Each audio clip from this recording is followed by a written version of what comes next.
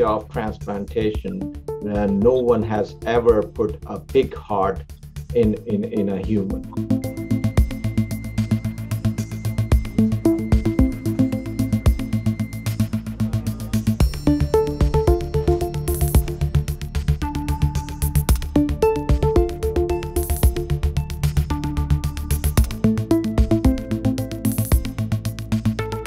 Uh, my dad was um, on his deathbed. I mean, my dad's prognosis early on was very, very, very bad. And the doctors have done everything in their power um, to keep him alive.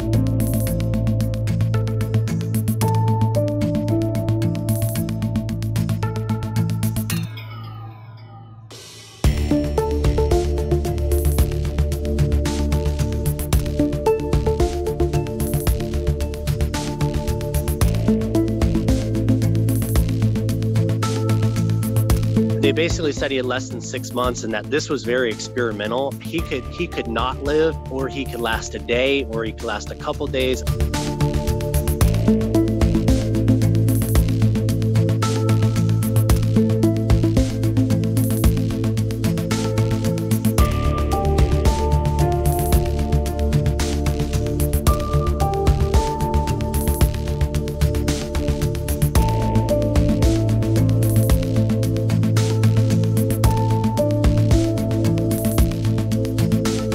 Pig Heart has performed so far very well, uh, even beyond our expectations.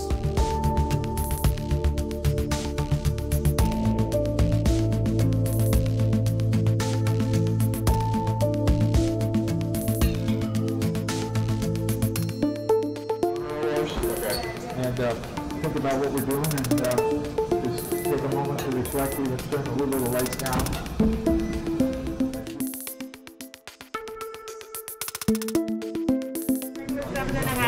I don't think I have anymore.